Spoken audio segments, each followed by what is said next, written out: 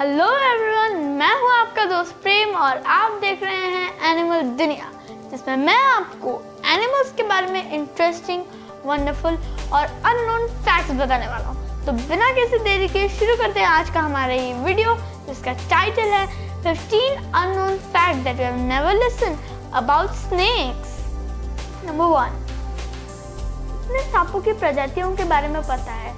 एक, दो, तीन, चार। पर आप इस फैक्ट को जान के हैरान हो जाएँगे कि सांपों के कुल तीन हज़ार के आसपास प्रजातियाँ पाई जाती है। कितना वंडरफुल है राइट फैक्ट नंबर टू ये तो पता ही होगा कि हमारे कान होते हैं और यहाँ तक कि बहुत सारे अन्य जीव हैं जिनके पास सुनने की शक्ति होती है और वह सुनते हैं अपने कानों की मदद से। लेकिन आज का जो हमारा टॉपिक यानी सांप है, उसके पास कान नहीं होते। हाँ उसके पास कान नहीं होते हैं, वो बहरा होता है। फैक्ट नंबर थ्री आप सभी को ये तो पता ही होगा कि सांप जहरीले होता है, लेकिन क्या आपको ये पता है कि सांप जिसका रंग सबसे ज़्यादा ब्राइट और कलरफुल है, वो उससे भी ज़्यादा जहरीला होता है? फैक्ट नंबर फोर तो कैसा लगेगा अगर आपको अपने घर से दूर किया जाए? बुरा लगेगा राइट और आपको दुख होगा कि क्यों मैं घर से अलग गया या फिर कौन तुम्हें ले आया एनीथिंग पर क्या आपको पता है कि सांप, जो कि उनका घर वाइल्ड में होता है, पर वो वाइल्ड में कम जीते हैं जूज में ज़्यादा. कितना वियर्ड है राइट फैक्ट नंबर फाइव आप सभी की आई लीड्स तो होती है। हाँ ये जो ऊपर होता है, उसे पल्स के भी कहते हैं।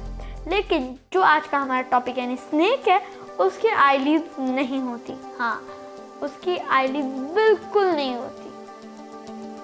फैक्ट नंबर सिक्स आप सभी को मैंने सांपों के बारे में बहुत बता दिया पर अब मैं एक ऐसे सांप के बारे में बताने वाला हूँ, जो कि वेनमस ऐसे दो सांप हैं एनाकोंडा और पाइथन हाँ एनाकोंडा और पाइथन वो इतने ज़्यादा शक्तिशाली हैं कि अपने शिकार को बिना जहर के आसानी से निकल सकते हैं। और उनका जॉ इतना फ्लेक्सिबल होता है कि वो अपने शिकार, यानी अपने से बड़े शिकार को भी आसानी से खा सकते हैं।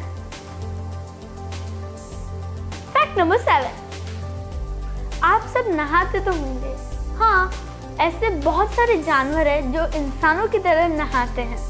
लेकिन अब मैं जो फैक्ट बताने वाला हूँ, वो सुनकर आप चकित रह जाएँगे। हाँ आप चौंक जाएँगे कि सांप नहीं नहाते। हाँ सांप बिल्कुल नहीं नहाते। लेकिन वो अलग बात है कि अगर सांप उसके सामने अगर कोई खतरा मंडरा रहा हो और उन्हें आगे नदी पार करना पड़े तो वो, उन्हें तो जाना ही पड़ेगा। लेकिन बिना किसी वजह के वो कभी भी पानी के आसपास नहीं भटकते। और क्योंकि उनकी स्किन हमेशा चेंज होती रहती है। फैक्ट नंबर एट अब घर से चूहे और मेंढकों को भगाने का तरीका मिल चुका है और आप बोलेंगे, क्या? तो उसका तरीका है सांप। हाँ आपको बस जंगल जाना है या फिर कहीं पेट शॉप से एक स्नेक को खरीद के ला उसे ट्रेन करके अपने घर में रखना है। वो जैसे वैक्यूम क्लीनर गंदगी को अपने अंदर लेता है वैसे सांप, मेंढक और चूहों को अपने अंदर ले लेगा। फैक्ट नंबर नाइन आप सभी को ये तो पता ही होगा कि इंसान हर जगह पाया जाता है, चाहे वो रेगिस्तान हो या अंटार्कटिका। लेकिन जानवरों के बारे में ये नहीं होता। कुछ जानवर गर्म जगह पर रह सकते हैं और कुछ ठंडी जगह पे। लेकिन आज का जो हमारा टॉपिक यानी स्नेक है, वो सिर्फ़ पूरी दुनिया में रहता है, यानी हर कॉन्टिनेंट में, सिवाय अंटार्कटिका अंटार्कटिका एक ऐसी जगह है जहाँ स्नेक सरवाइव नहीं कर सकता। फैक्ट नंबर टेन आप सभी ने हेलीकॉप्टर एरोप्लेन ड्रोन चिड़िया बैट और ऐसे कई जानवर और मशीन्स को हवा में उड़ते हुए तो देखा ही होगा। लेकिन कभी आपने किसी रेप्टाइल यानी कि स्नेक जैसे कि ग्लाइडिंग स्नेक उसे कभी उड़ते हुए देखा है? कितना अजीब लगता है। हाँ ऐसे और भी कई सांप होते हैं जो उड़ सकते हैं। और जनरली वो उड़ते नहीं है, वो बस एक पेड़ से दूसरे पेड़ पर जंप मारते हैं, जो कि हमें फ्लाइंग की तरह दिखता है। फैक्ट नंबर इलेवन सभी के पास नाक है। अब बोलेंगे of course without nose we can't survive हमें सांस लेने के लिए नाक की बहुत ज़्यादा लेकिन स्नेक्स के बारे में ऐसा बिल्कुल नहीं है। वो अपने टंग के थ्रू पता करते हैं कि कौन से डायरेक्शन में क्या है।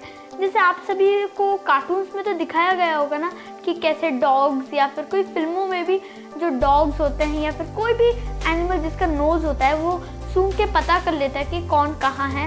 तो वैसे स्नेक्स में नहीं होता। वो अपने शिकार ढूँढने के लिए अपने टंग का इस्तेमाल करता है। उसका लेफ़्ट टंग उसे लेफ़्ट की तरफ़ गाइड करने में हेल्प करता है राइट वाला राइट की तरफ़।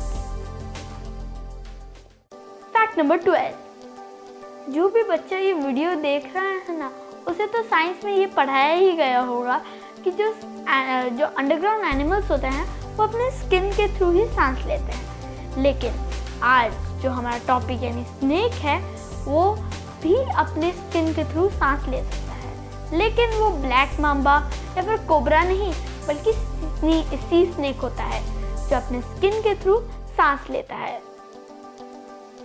फैक्ट नंबर थर्टीन अगर आपको नाम बुलाकर कोई बुलाए तो आप जल्दी से उसके पास जाएँगे या फिर पूछेंगे क्या हुआ।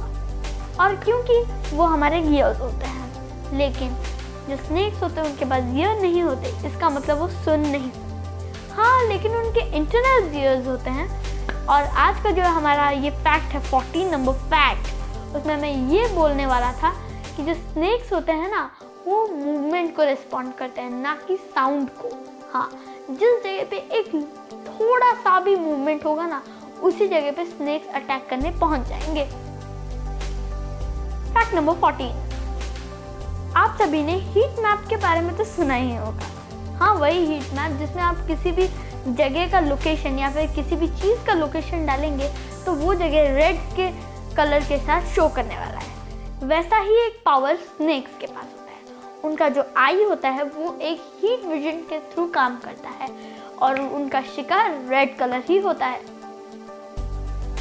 फैक्ट नंबर फिफ्टीन आप उसेन बोल्ट के बारे में तो जानते ही होंगे। हाँ वही जो दुनिया के सबसे तेज इंसान है। लेकिन अब आप ये फैक्ट सुन के हैरान हो जाएँगे कि सांप भी किसी उसन बोल्ट से कम नहीं होते। वो भी उसन बोल्ट की ही तरह, यानी कि स्पीडली क्रॉल कर सकते हैं। तो ये था आज का हमारा ये वीडियो। तो चलिए विदा लेते हैं, लेकिन जाने से पहले हमारे इस वीडियो को लाइक शेयर और कमेंट कीजिएगा और हमारे चैनल को सब्सक्राइब कीजिएगा और उसके पास में जो बेल आइकन है, उसे भी दबाइएगा ताकि हमारे न्यू अपडेट्स आप तक तुरंत पहुँच जाए। तो bye bye tata see you मिलते हैं नेक्स्ट वीडियो में।